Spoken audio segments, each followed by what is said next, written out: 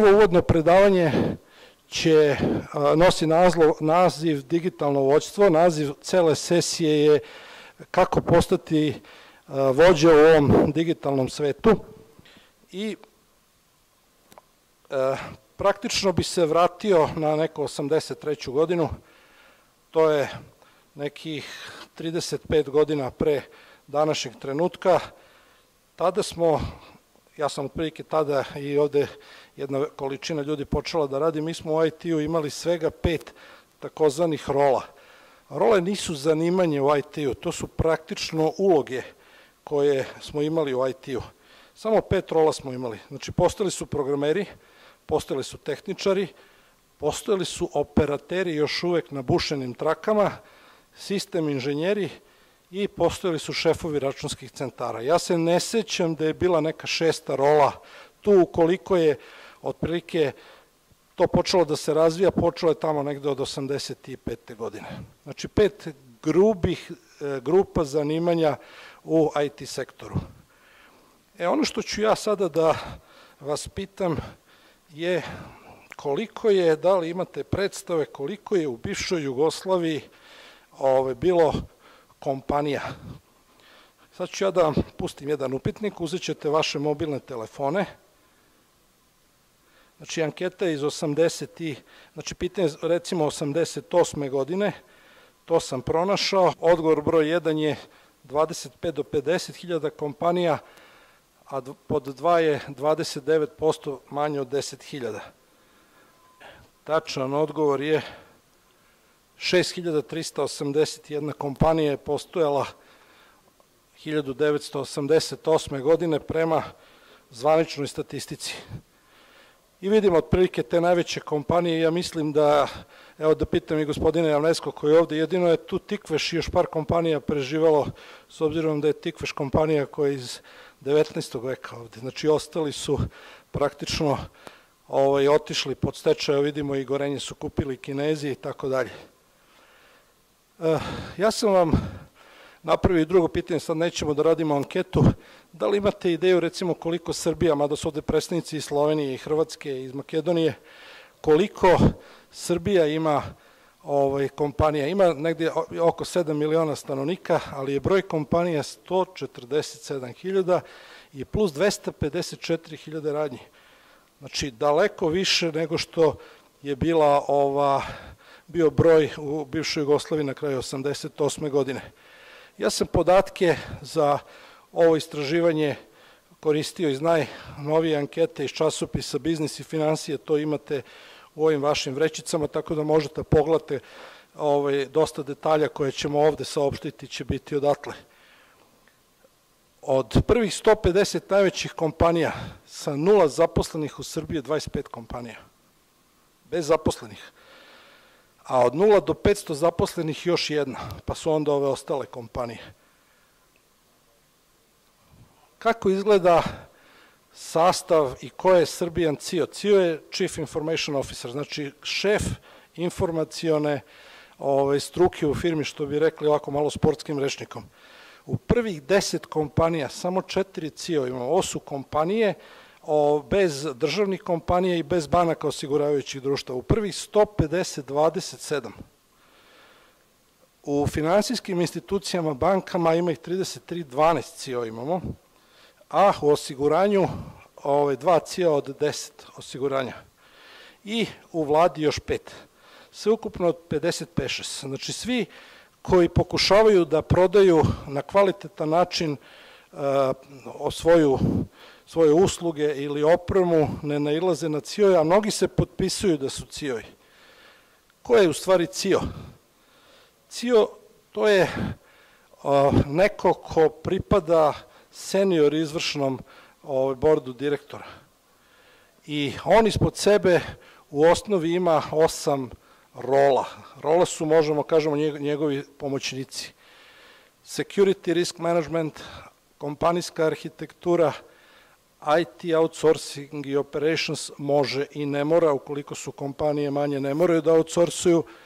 Sourcing and vendor relationship, to su nabavke ili u kompanijama koje su državne javne nabavke, poslovno obaveštavanje information management, Pa onda imamo application, oni, oni koji se bave aplikacijama, poboljšanje poslovnih procesa i programi portfolio management. Ovo je osam osnovnih rola, onako kako je generisano u mnogim svetskim kompanijama i naravno i u dosta naših. Osam rola imamo. Ja ću ovde samo da vam izbacim na naredna dva slajda da vidite šta svaka od tih rola u prezentaciju ćete dobiti može da ima. Znači šta ovaj infrastruktura i operacija treba da radi. Njihovi zadaci nisu istovetni, razlikuju se. Dok ovaj ima zadatak ovaj, da radi strategije, da radi planove, optimizuje, ovaj koji se bavi kompanijskom arhitekturom, njegove su uloge nešto drugčije. Tako i za svih ovih osam rola, još šest narednih, kompa, ovaj, te strukture i te role su imaju totalno druge zadatke. E, ovo je tema za, ne samo za danas, nego i ovaj, od sada pa nadalje. Ono što je zadatak moj i ovog tima koga sam ja sastavio da bi ovo radio je da izgradimo profil CIO, koga na ovim prostorima nema mnogo. Mi se trenutno nalazimo u digitalnoj industrijskoj ekonomiji. Šta to znači? To znači sledeće. U poslednjih par godina se osim ovih rola, osam rola, izgenerisale su se još dve role. Znači, do 2020. i oko 2020. u mnogim kompanijama će se pojaviti potrebe za ova, arhitekturom, ovaj, znači, za, znači za cyber security, da cyber security risk podigne na viši nivo, da se digitalna tehnologija i arhitektura koja to prati podine takođe na viši nivo i tako dalje. Ovo će praktično zahtevati još dva zanimanja, Chief Digital Officer i Chief Data Officer. Kada sam pokušao da saznam koliko tih Digital Data Officera ima u Srbiji, ja sam naišao na samo jednog i on se zove Aleksandar Belić i radi za MK Komerc. Ako slučajno ima još nekog ovde, ja se izvinjam da ga odmah evidentiramo, tamo da kažem imamo malo više. Ove nove role u Sjedinim američkim državama, znači od, 1000, od 2012. pa na ovamo nisu rasle i nisu potrebe za njima bile intenzivne i morale su da se generišu uz, u okviru samih kompanija. Znači nisu one mogle da, pre, da budu preuzete sa univerziteta. S tim što je za Chief Data Officer potreba nešto malo manja, a za Chief Data Officer nešto veća i ove situacije u 500 najvećih svetskih kompanija koji su na listi ovaj, kako se zove Fortune 500. Kada pogledamo takođe gde ove role dominiraju, pa opet tu Evropa zauzima, Evropa, Afrika, Bliski istok, ali Evropa zauzima vrlo visoko mesto. Evropa je prepoznala, naravno ne pre Sjedinjenih država, ali u većoj meri potrebu za ove dve role. I sad tu imate podatke ovaj, da 16% čine žene, da 40% moraju da budu na nivou C-level, znači C-level members su znači članovi uprava i tako dalje. Moraju da imaju tehnološki background i moraju, ovaj, kako se zove, 46% od njih je angažovano s polja, a u stvari ostale su morali da budu, ostali su morali da budu napravljeni iznutra, što kažu. Broj je porastao sa 6 na 19% i negde oko 60% je njih angažovano od 2015. godine. Ovo ta, praktično znači sa ove dve role da je ovaj segment koji se zove digitalna industrijska ekonomija ojačao i da mi toga moramo da budemo svesni. Od 2013. znači do 2017. mi imamo tri posebne grupe ili tri oblasti koje moramo da, da ovde, kako se zove, uzmemo u obzir. Jedno je digitalizacija, drugo je kako ćemo prema onima koji koje zovemo suplarima ili koji ovaj, praktično isporučuju vrednost, da se odnosimo i kako ćemo prema informaciji, obradama informacija se odnosimo. Za početak da vam skrenem pažnju da postoje dve reči ovaj, koje imaju ono digit, digit na latinskom znači prst, znači digitalizacija ili na engleskom digitalization je nastala 1880. godine. I ona praktično znači kombinaciju novih tehnologija koje imaju zadatak da generišu novu vrednost i nove prihode. Ali postoji reč digitizacija koja je mlađa i koja je u oksforski rečnik ušla 1985. godine, a to je konverzacija svih tekstova, fotografija, zvuka u digitalni oblik sa ciljem da se koristi na računaru. Šta bi bila onda digitalizacija? Digitalizacija se dominantno odnosi na korišćenje senzora, na internet stvari. Televizija je prešla iz analognog u digitalni procesom koji se zove takođe digitalizacija, ne digitizacija. I ovo se na zapadu, ova dva pojma imaju kristalno jasnu razliku. U srpskom jeziku, ne znam kako je u makedonskom, u slovenačkom, tu se, mislim, ne pravi nikakva razlika, čak je u naše zakonske akte ovde u Srbiji ušla reč digitalizacija, a podrazumeva se da papiri se preštampavaju, skeniraju i tako dalje i prevode u elektronski oblik, a to nije to. Četiri segmenta su se formirala početkom stvaranja krize i nešto malo ranije, znači 2008. godine, i zovu se Nexus sila. Nexus sila su sile koje dejstvuju ka sredini i te četiri sile su računarstvo u oblaku, mobilne tehnologije, društvene mreže i informacije u celini. Nexus sila. E sad, da samo taj Nexus sila da je bio još kako tako bi izašli, međutim mi kao da se nalazimo u jednom atomu i ovo su nekakve spoljne ljuske. Mi osim toga, znači ovo sve pripada nekom digitalnom svetu, mi imamo i takozvani realni svet, pomenuo sam Internet of Things, internet stvari, to su od sedam, četiri ovde pobrojeno sistemi, stvari, ljudi i mesta.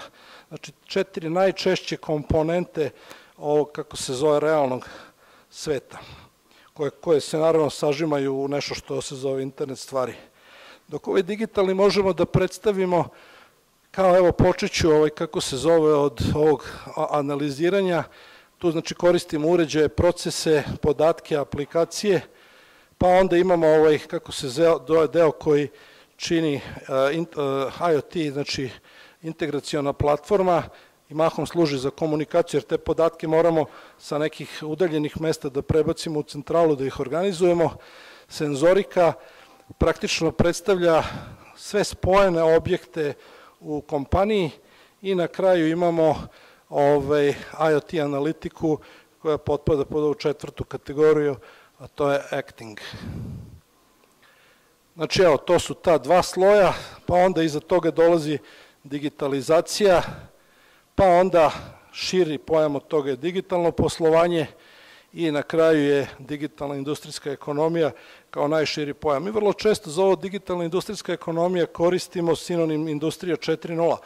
Međutim, industrija 4.0 ima drugčije poreklo. Industrija 1.0 se pojavila pojavom o, parne mašine Jamesa Vata, znači to je negde 17. vek, pa onda a, pojavom a, elektro, elektrike, to je industrijska revolucija 2.0, industrija 3.0 je elektronika, procesori, kompjuteri i tako dalje, onda 4.0 bi sad bilo sve ovo posle toga. Međutim, šire gledano, kad bi uključili tu osim tehnike i ekonomiju, možemo da kažemo da je praktično digitalna industrijska ekonomija ono o čemu mi danas govorimo. E, takođe treba da znamo da za dve godine 15% svih računara će radije da uče nego da obrađuju podatke. Znači već se rade algoritmi koji e, to i definišu a jedan od tri radnika znanja, pošto radnici znanja već počinju da bivaju sastavni deo kompanija, će biti zamenjeni pametnim mašinama u samim kompanijama. Znači, ljudi koji rade u oblasti knowledge based će biti zamenjeni hardverom koji će praktično to da radi za njih. 10% aktivnosti koje potencijalno mogu da budu opasne za čoveka kad obavlja svoje, svoje zanimanja, bit će zamenjene pametnim mašinama. E, ono što je osim ove četiri tehnologije, e, praktično malo širi spisak da kažemo, predstavlja ovih remetilačkih 12, evo sad će da krene ta animacija, uzeo sam ovu podelu od McKinsey-a, Znači, tih 12 tehnologija su mobilni internet, automatizacija ljudskog znanja, treći je internet stvari, već sam pomenuo ovo sve do sada, računarstvo u oblaku i tehnologija računarstva u oblaku. Nije ovo po redu, da se razumemo. Napredna robotika, pa onda imamo autonomna i blizu autonomnih vozila ili poluautonomna vozila. Sledeća generacija genomike je jako važna. E sad ove, ove četiri malo izlaze iz toga, znači to su smešne energije, 3D štampa, onda imamo razvoj naprednih materijala kao što je grafen i ovaj, ra, eksploatacija istraživanje gasa i ovaj, i škriljaca i zamenljiva energija, to je praktično neki širi spisak, a zadržat ćemo se na ovih sedam ovih tehnologija, da vidimo gde su u odnosu na ovi Nexus sila one ovaj, nalaze. Evo možemo da vidimo ovaj, kako se zove, sad sam ja izbacio jedan slajd, ovaj, požurio sam, one se sve tu negde nalaze, vidjet ćemo taj slajd ponovo. Na jednom, jednoj anketi ovaj, iz 2017. kompanije Gartner, kada su pitali IT menadžere koji su vam tehnološki prioriteti, poslovno obaveštavanje i analitika su bili na rednom mestu broj 1 i ova širina pojasa je u stvari označavala koliko je to bilo bitno. Onda infrastruktura i data centri po dva, mobilnost, Air Cloud i tako dalje. E, 2015. godine situacija se za nijansu od meni, za meni, promenila. Malo manje je potreba bila a i dalje na rednom mestu poslovno obaveštavanje analitika, međutim cloud je skočio sa pozicije broj 4 na broj 3, ERP je ostao na četvrtoj poziciji, ali vidimo da su se i potrebe nekako ovaj, tu e, promenile. A 2016. godine i dalje potreba za poslovnim obaveštavanjem i analitikom, ali se sve tu nekako potrebe su se ovaj, smanjile, dok su se neka mesta promenila i ovaj, pozicije, tako. Tako da znamo da evo tu treba da se vrtimo kada pokušavamo da vidimo kakvi nam profili stručnjaka u stvari trebaju. Ovo kada pokušamo da smestimo u ovaj naš Nexus sila, to izgleda ovako. Evo, sem potreba u ovim oblasti društvenih mreža da je potpada ovaj društveni CRM i da imamo najmanje otprilike zahteva tehnoloških, drugim rečima da se grana razvija nezavisno, sama za sebe, vidimo da sve ove ostale imaju debele veze i da jednostavno ova osnovna platforma obogaćena sa novim elementima se i dalje razvija. E da vidimo sa digitalizacijom kakva je situacija. Mi treba da znamo da je svetska populacija 2009. godine bila 6,8 milijardi stanovnika. Tada je te 2009. godine bilo ovaj, skoro jedan, jedna milijarda interneta stvari. Znači negde jedan, jedna ta komponenta na 7, milijard, na 7 ovaj, kako se zove stanovnika. A personalnih uređaja je oko 1,6 milijardi. 2020. godine situacija se dramatično menja. Broj stanovnika procena će biti oko 7,6 milijardi, i bit će jedan uređaj po stanovniku, ovo izvijem se jedan personalni uređaj, mobilni telefoni, tableti po stanovniku, dok će internet stvari, ovaj, taj broj će dostići 30 milijardi. Pretpostavljam da pogađate da je to zahvaljujući Alibabi, AliExpressu i ostalima koje te uređaje masovno prodaju. E sad, gde se ovi, ovaj iz kategorije interneta stvari najviše koriste? Ovde pratimo vremensku osu od 2013. do 2000, ja mislim, 20. godine, pa onda imamo kategorije koje se zovu informacija ovaj, iz polje zabave, automobilizam ili automobilska industrija, pa su onda ovde utility su u oblasti energije, voda, kanalizacije i tako dalje, pa fizička bezbednost, informatika, kućna automatika i energetika. I praktično, evo ovo, dole vidite kako se godine ređaju, vidimo da je na drugo mesto došla upotreba u oblasti kućne automatike, a to su praktično pomenute ove kompanije kao što su ne znam, Alibaba, pa onda ima LifeX koji generisao one sjelice koje menjaju boje i hrpa nekih uređaja koje mi nazivamo i gadgetima se nalazi u našim rukama, a već postoji neke platforme kao što su, ne znam, Samsungova, Microsoftova i tako dalje, koje služe da se poveže veća količina tih uređaja u domaćinstvima. Koje je tržište? Kad god me studenti pitaju, dosta često nastupam pred studentima šta je jedna od njihovih oblasti, šta mora da bude oblast interesovanja, obavezno internet stvari, jer se do 2025. godine predviđa da bude između 4 i 11 a, triliona američkih dolara. Milion, bilion, trilion. To bi mi rekli milijarda, ali ovaj, ajde da ostavimo američku notaciju. I ovde su dati neki segmenti ovaj, gde će to biti security, znači zdravstvo, opera, operacijna optimizacija, kućna automatizacija i tako dalje, logistika, javno zdravlje i tako dalje, tako dalje. Znači jedna velika, jedan velik, jedna velika količina gde će to ovaj oblasti gde će to moći da se primenjuje. Shodno tome, da vidimo koji je u prethodnih 10 godina bilo 10 najuticajnijih dobavljača ove opreme u svetu. Na rednom mestu broj 1 nesumljivo Apple. Kriterijum, promet. Imamo i kriterijum broj 2, ali se onda razlikuje od ovoga šta misle IT stručnjaci najvećih kompanija u ovoj oblasti. Ali je sličan odnos. Onda Google, SAP, Oracle, Microsoft, Cisco i IBM, tu je Packard koji je ispao, to je ta velika šestorka, ove, su daleko manje uticajni u celoj toj oblasti. Drugim rečima, očekujemo u budućnosti da se daleko više ovde opredele ljudi, naročito mladi, a da ovamo ovo bude rezervisano za starije i sad neću da kažem da to izlazna strategija da moraju da se prilagode mladima, ali vidimo da je njihov uticaj ovo polagano opada. I četiri najveće iznenađenja koja nisu ovde su u stvari Facebook, Alibaba, Salesforce i Amazon. Jednostavno, te četiri ekstra kompanije plus ovih koliko ima ovde 7, 8, znači 10, 11 kompanija na koje treba da obratimo posebnu pažnju šta ćemo sa njima, da li ćemo da povećamo sa njima trgovanje i promet ili ćemo da smanjimo. Znači treba da budemo oprezni i pozitivno i negativno, kako bi se reklo. E da vidimo kakva stvar sa dobavljačima.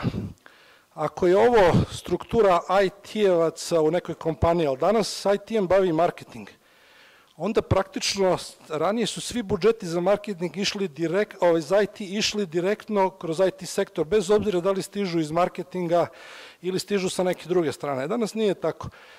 Danas 70% kompanija ima Chief Marketing Technologist Officer, čoveka koji vodi deo marketinga, a koji je vezan za tehnologiju. Znači, veliki deo budžeta za nabavku od tableta, evo vidjet ćete ovde, čućete neke ankete i tome slično, pripada marketingu. Oni su jednostavno kupili opremu direktno, a nisu išli prema, prema ovom IT sektoru. 80% od IT službenika danas, od IT, ne u službenika u IT sektoru, raportira i raportiraće marketingu pre nego IT sektoru. Znači, pomenuli smo već da je zanimanje Chief Digital Officer će biti jedno od najkraćih, zanimanje sa najkraćim dahom. Ono će otprilike da nestane negde otprilike 2020. godine, zavisnosti kada smo mi to počeli, jer idemo prema onom Chief Data Officeru, jer imamo celu disciplinu koja se zove Data Science i na tu stranu se ovaj, praktično cela stvar otklanja. Ono što moramo da znamo danas, da sve vođe koje praktično funkcionišu moraju da budu digitalne vođe. Ne bude li se susredi sa digitalnim, ovaj, kako se zove, tehnologijama, doživeće nešto što se zove digitalni jaz. Kada govorimo o, inform, o ovom delu koji se zove informatika, tri komponente su jako važne. Kako posmatramo poslovne procese, kako posmatramo poslovne modele i kako posmatramo poslovne momente. Objasnit ću svaki od ovih pojedinačno. Prvo o poslovnim procesima. Mi svi znamo šta je FedEx, šta je DHL. To su kompanije koje prevoze pošiljka vrata do vrata, ali te kompanije imaju jednu, jednu nevjerovatnu komponentu. Mi u svakom trenutku znamo gde se ta pošiljka nalazi, tracking. Tako da direktor FedExa kaže – informacija o pošiljci je jednako važna kao i sama pošiljka. Kako za ono ko je poslao, tako i za ono ko prima tu pošiljku. Kada govorimo o poslovnim modelima, mi imamo totalno nove modele plaćanja. Znači u obliku, recimo, mobilnih plaćanja, iZetl je jedan od lidera u oblasti poslovnog plaćanja. Bitcoin je već postala virtualna valuta o kojoj se, a, znači, priča naširoko i mnogi su ušli u kombinacije vezane za Bitcoin. Ima tih valuta danas oko 1500. I ono što ovaj, je jako važno, to je crowd, crowdfunding. Znači, kako da dođemo do sredstava, pa jedna od kompanija koja se više bavi hardverom zove se Kickstarter, softverom i tim intelektualnim uslugama, to, mislim, kompanija koja s time više bavi Indiegogo. Tako da možete da pogledate kako se kreira kako se kreira i kako se traže pare na jedan inteligentan način da vas ceo svet vidi. Kada govorimo o poslovnim momentima, mi ti nama ti, detalji nama dolaze ni odakle, znači dolaze nam u okviru same kompanije, mi vrlo često ne obraćamo pažnju na to ko nam je te poslovne momente praktično i servirao.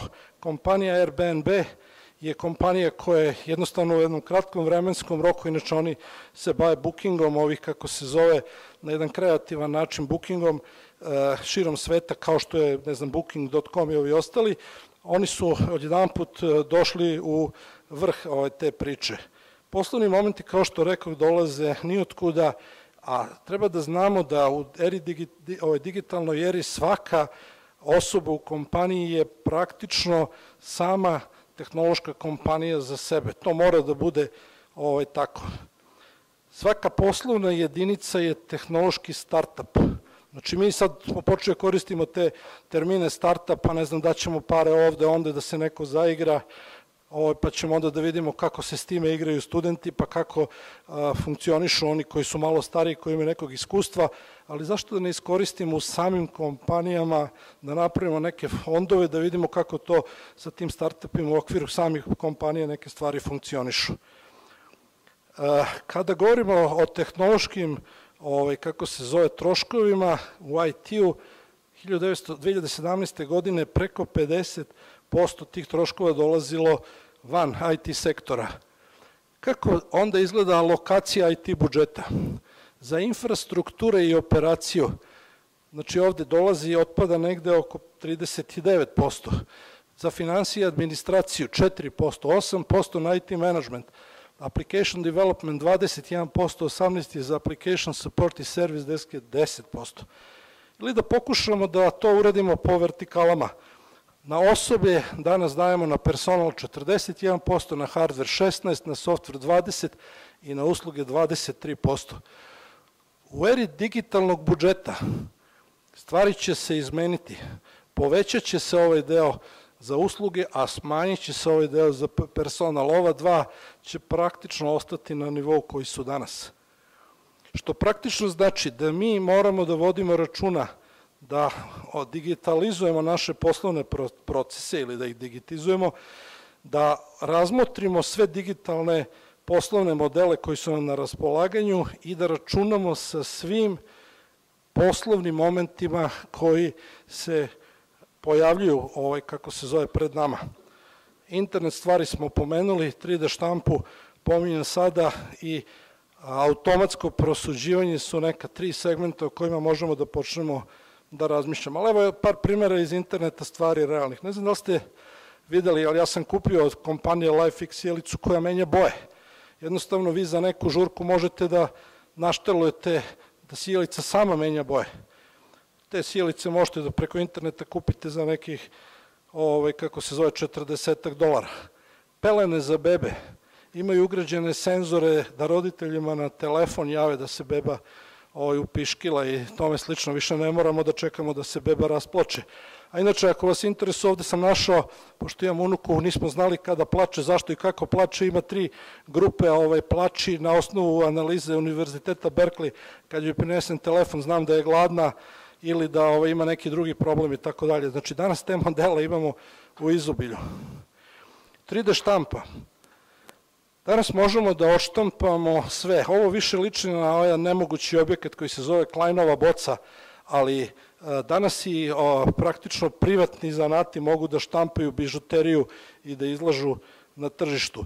Štampa organa, ovo srce nije zamena za realno srce, je odštampano srce kako bi hirurzi mogli sečenjem kriški da vide na što to srce zaista liči na osnovu, ovaj, kako se zove, tomografskih snimaka Znači, možemo danas da očtampamo sve i svašta što kažu.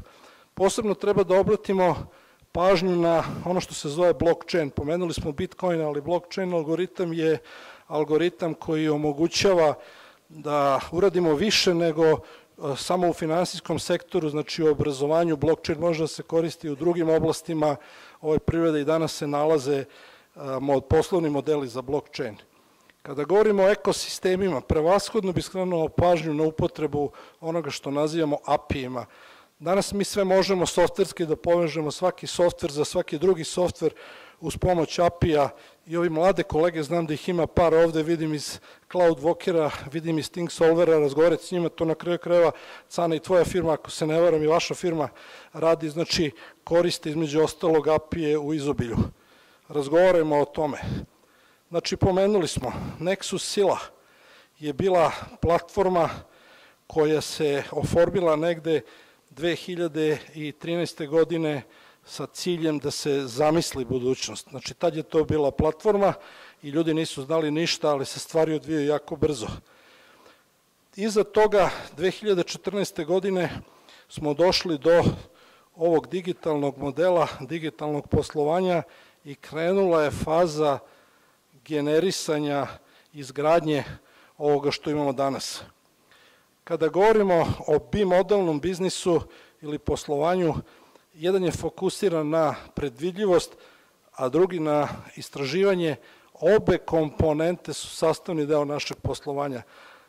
Poslovanje koje, firme koje imaju poslovanje koje bazira i na prediktabilnosti i na istraživanju, može da kaže da su u začetku kreiranja nečega što se naziva bimodalno poslovanje. I to je praktično bila začetak tog jednog modela je bila 2015. godina kada je cela priča pokrenuta. Algoritamsko poslovanje je nastavak cele te priče. Mi smo algoritme koristili u početku samo za pisanje programa, ali danas se koriste za mnogo veći broj ovih, kako se zove, aplikacija. 2016. godine je sve to izašlo iz ovaj, kako se zove, laboratorija, iz IT kompanije i danas se mnogi poslovi vezani za ovaj, algoritamsko poslovanje. Veštačka inteligencija je nekad bila rezervisana za par tih univerziteta američkih, japanskih i tako dalje, a danas je to eskaliralo i nalazi se aplikacije u našim telefonima koje su vezane za veštačku inteligenciju i za 2017. godinu je sve to doživalo, izvijem se, 2018. digitalne razmere.